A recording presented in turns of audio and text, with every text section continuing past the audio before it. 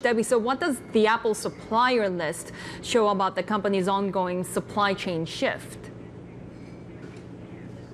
So uh, it is very clear that uh, there have been uh, countries like uh, India and Vietnam that has made the big gains as uh, Apple seeks to uh, uh, bring some manufacturing outside of China.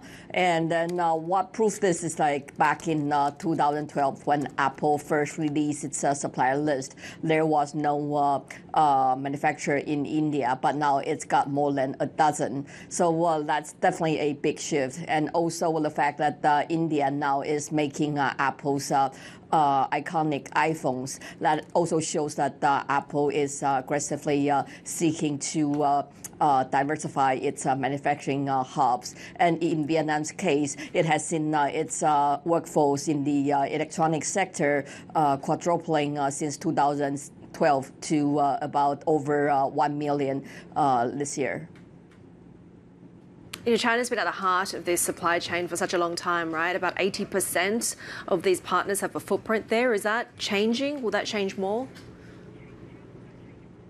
Uh, while uh, Apple is uh, bringing some manufacturers outside of uh, China, some of its uh, production capacity outside of China, uh, that certainly doesn't mean that uh, uh, China's status as the world's factory is collapsing or changing overnight. Still, I mean, we see most, the bulk of iPhones are still being made in central Chinese city of Zhengzhou, or what we call the iPhone city. And it is just hard to for Apple to change that uh, status quo overnight. It will need time for it to build up uh, significant production capacity um, elsewhere.